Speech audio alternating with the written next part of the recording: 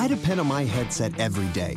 The guys who make the Voyager Pro HD get that about me. But I'm not always great at keeping track of it, so when a call comes in, it could be anywhere. I've dumped my entire briefcase looking for it. So I got the Plantronics Voyager Pro HD. It's got this amazing smart sensor technology.